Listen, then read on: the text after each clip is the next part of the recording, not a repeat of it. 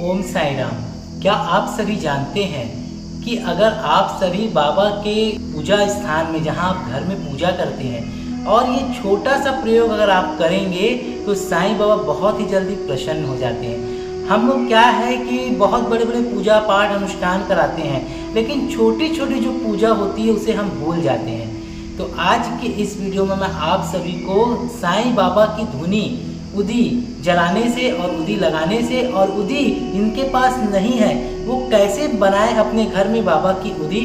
इस वीडियो में विस्तार से बताने जा रहा हूँ। तो आप सभी सबसे पहले अपने इस चैनल को सब्सक्राइब कर लीजिए, साथ ही आप दर्शन कर रहे हैं बाबा की द्वारिका माई से। पीछे में बाबा की अखंड धुनी जल रही है उन्नीस सौ बहत्तर से और यहीं पर बैठे हुए शिरडी के साईं और यहीं पर जल रही है बाबा की अखंड जोत अगर आपके जीवन में परेशानियाँ हैं, कष्ट हैं तो आप भी इस दरबार में एक माह की लकड़ी, एक माह का तेल बाबा की धुनी के लिए प्रेषित कर सकते हैं। क्या है भक्तों, जो बाबा की धुनी है, जो बाबा की उदी है, ये हमारे जीवन की कई प्रकार की निगेटिविटी और नकारात्मक को खत्म करने की शक्ति रखते हैं। ये एक ज़रिया है भक्तों, जिसके द्वारा हम इस प्रयोग को करने के बाद अपने घर से जितनी भी प्रकार की नकारात्मक ऊर्जा हो निगेटिविटी शक्ति हो उसे हम खत्म कर सकते हैं। आज के इस वीडियो में मैं आप लोगों को बाबा की जो अखंड धुनी की जो उदी है, वो कैसे बनेगी और क्या क्या सामग्री लगेगी, इस वीडियो में बताऊँगा। आप लोग वीडियो के अंत तक बने रहें और आप लोगों को इस वीडियो से लाभ होता है तो आप इसे लाइक करें और अपने दोस्तों में शेयर ज़रूर करें। भक्तों, जैसा कि आप सभी जानते हैं जो साईं बाबा ने धुनी प्रज्वलित की थी, वो कई वर्षों से बाबा की द्वारका माई में जल रही है और भक्तों के साथ उसका कई जन्मों का गहरा नाता है, क्योंकि बाबा की उदी जो धुनी से निकलती है, वो लाखों भक्तों के साथ चमत्कार करती है। इसी तरह भक्तों, अगर आप लोग घर में बाबा की धुनी जलाते हैं सुबह शाम और पूरे घर में घुमाते हैं तो उससे आपके घर की कई प्रकार की परेशानियाँ ग्रह, कलेश हुआ, नकारात्मक ऊर्जा हुआ और जो भी आपको संकट और कष्ट है या किसी को बीमारी हर समय घेरी रहती है तो अगर आप ऐसा करते हैं तो वह दूर हो जाएगा। और तो और अगर आपके घर में वास्तु दोष हो या फिर छोटे बच्चों को नज़र लग जाती है तो आप बाबा की धुनी का प्रयोग कीजिए, धुनी जलाकर उसे थोड़ा दिखा दीजिए और हो सके तो सात बार लोहान होता है ना, लोहान या गुगुल या हवन सामग्री जिसे नज़र लगी हो बच्चे, उसको उतार कर सात बार उतारने के बाद उस धुनी में डालकर उसे बाहर रखने से भी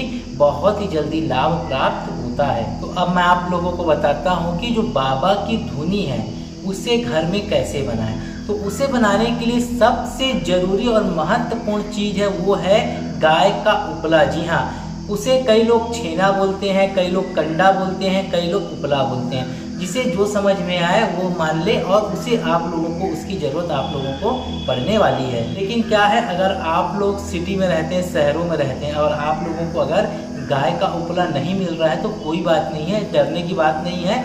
आप हो सके तो आप लोग घर में नारियल तो फोड़ते होंगे।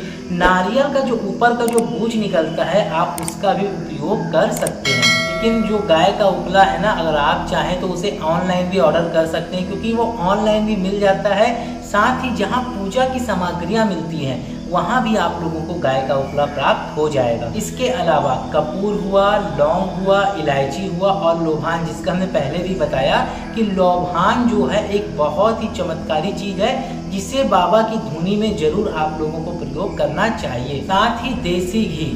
अगर देसी घी आप लोगों को गाय का मिल जाता है तो ये बहुत ही ज़्यादा उत्तम होता है। जितनी चीज़ें मैंने आपको बताई है, ये सारी चीज़ें आप किसी भी पूजा वाले स्थान पर जहाँ पूजा सामग्री बिकती है, वहाँ पर आप आसानी से प्राप्त कर सकते हैं। अगर नहीं मिलता है तो आप ऑनलाइन उसे भी ऑर्डर कर सकते हैं। सिर्फ़ और सिर्फ़ दो सौ रुपये का आपको खर्चा पड़ेगा और दो सौ रुपये खर्चे में आप बहुत ही अच्छी धुनी बाबा की तैयार कर सकते हैं। अब दूसरा सवाल है कि कितनी मात्रा में हमें इन सामग्रियों को मिलाना है? तो आप जिस पात्र में हवन करते हैं, मान लीजिए धुनी जलाते हैं, उसके अनुसार उतनी अनुमानित ही आपको बनाना है और उतना ही आपको जलाना है, गाय के उपले के साथ। और सारी सामग्रियों को आप थोड़ा थोड़ा मिला लें और मिलाने के बाद आप जब गाय का उपले जला दें, उसमें आप हो सके तो कपूर जो रहता है, उसे पीस कर ऊपर से डालें और साथ ही साथ एक बात का विशेष रूप से ध्यान रखें कि जो आप हवन जलाएँगे, उससे मिट्टी तेल डाल के ना जलाएँ, कागज़ से ना जलाएँ, या फिर किसी भी प्रकार की खराब सामग्री से ना जलाएँ। उसे सिर्फ़ और सिर्फ़ रुई की बत्ती तेल की बना ले, उससे जला सकते हैं, या कपूर की गोली नीचे में रखकर भी आप जला सकते हैं। इसका आप लोगों को विशेष रूप से ध्यान देना है। साथ ही फूंक कर भी आपको नहीं जलाना है, क्योंकि फूंकने से थूक जाता है, जिससे वह हमारा धुनी जूठा हो जाता है। अब जब बाबा की धुनी जल जाएगी तो उसके बाद बाबा के समक्ष बैठकर उसका आप हवन करें। हो सके तो आप साई सगुणोपासना से 108 नामावली का हवन करें। एक एक कर जैसे, ओम श्री साई नाथाय नमः स्वाहा, ओम श्री साई सगुणोपासनाय नमः स्वाहा, आपके जो ग्राम देवता है, उनका नाम लेके हवन दे दे। कुल देवता उनका नाम लेके हवन दे दे।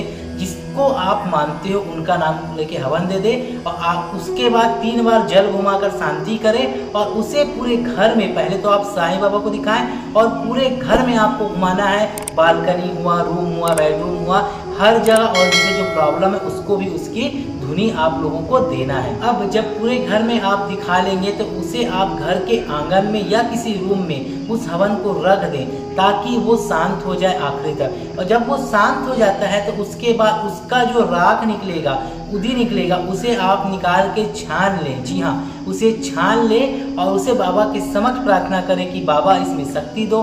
चूँकि उसमें शक्ति बाबा ने पहले से ही दे चुकी है, आप बोले बाबा उसमें शक्ति दो और उस राख को आप एक डब्बी में रख दें जिसे बाबा आशीर्वाद देंगे और वो बाबा की विभूति बन जाएगी। तो इस तरह अगर आप करेंगे, बाबा को धुनी दिखाएँगे और इस तरह आप बाबा की उदी भी बना लेंगे। अब कई लोग कहते हैं कि उस राख का हम भभूति नहीं बनाएँगे तो कोई बात नहीं है। आप जब वो राख ठंडी हो जाए तो उसे पेड़ में डाल दें या बहते हुए पानी में डाल दें या तो फिर किसी भी पवित्र स्थान में उसे आप डाल सकते हैं। अब बात करते हैं कि धुनी को हम कब दिखाएँ, सुबह या शाम। कई लोग का कहना है कि हमें समय नहीं मिलता सुबह और शाम, लेकिन व्रत ज़रूर रहते हैं गुरुवार को। तो कोई बात नहीं, आप लोग क्या करें? अगर हो सके तो सुबह और शाम दिखाएँ सुबह शाम भी टाइम ना मिले तो आप तो हो सके तो गुरुवार के दिन विशेष रूप से आप बाबा की धुनी जलाकर पूरे घर में ज़रूर दिखाएँ। अब बात कर लेते हैं कि जब भी आप बाबा की धुनी जलाते हैं तो एक बात का विशेष रूप से ध्यान रखें कि धुनी जलाते समय आप मन ही मन बाबा के मंत्रों का जाप करते रहें। और जब आप घर में भी घुमा रहे हैं तो भी आप मंत्र जाप करते रहें। इस छोटे छोटे प्रयोग को करके ही आप देखेंगे कि आपके घर में किस तरह सकारात्मकता का संचार होता है और आपके घर में पॉजिटिविटी एनर्जी आपके घर में आएगी। और आपको ऐसा लगेगा कि साक्षात शिरडी वाले साईं बाबा का वास आपके निवास में हो चुका है। तो भक्तों ये था बाबा की उदी बनाने को लेकर और बाबा की धुनी जलाने को लेकर विशेष वीडियो जो हम भक्तों के अनुरोध पर आप लोगों के लिए लेकर आए। क्योंकि हम खुद बाबा की धुनी के पास बैठे हुए हैं और यहाँ बैठ कर बाबा के भक्तों को जानकारी हम देते हैं ना तो हम नहीं देते। ये स्वयं साई बाबा देते हैं, एक प्रकार शक्ति देते हैं। तो आप लोगों को कैसा लगा ये जानकारी जान के कमेंट करके अपनी राय ज़रूर दें। हम मिलेंगे अगली बार एक नई खास वीडियो के साथ। तब तक के लिए बहुत बहुत धन्यवाद। ओम साई राम